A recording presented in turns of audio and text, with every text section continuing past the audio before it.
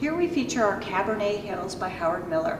You'll notice the great antique finish in black with a little feature of red poking through. You have two drawers for additional storage. Within this cabinet, you're also going to have your wine storage and stemware storage and also your beaded glass to really give it that antique feel.